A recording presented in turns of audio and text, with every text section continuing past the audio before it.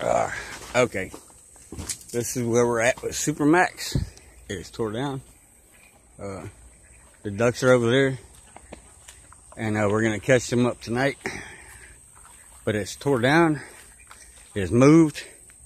It's put up. But it's not finished. So we're going to have a good ordeal trying to get them ducks up tonight. Because uh, they don't have a cage to get into to where we can catch them. But they're pretty gentle. They are. They're not that bad. So. But yeah, oh, dear Lord, I'm tripping on that. They shouldn't be too hard to catch up.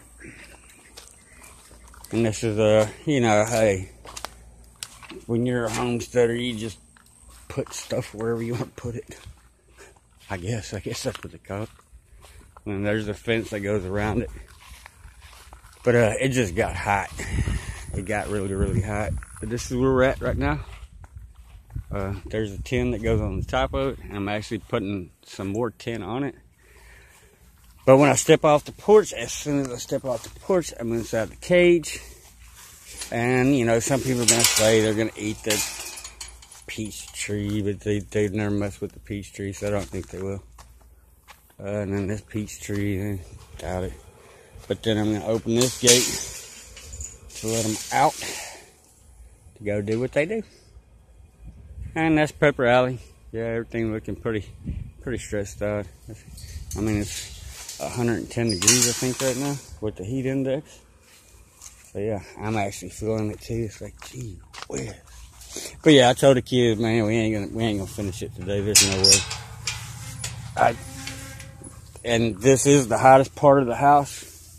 But, uh, you know, they don't come in here until it's time to go to bed. So, and I will be putting, uh, you know, some blockers on there. Holy crap, they said they were finished. What is it? It's that big old hole. See, you can't trust kids. I'm about to come out here and, uh, wire this up. Cause, uh, that's big enough for something to get into. So yeah, but yeah, we got it up.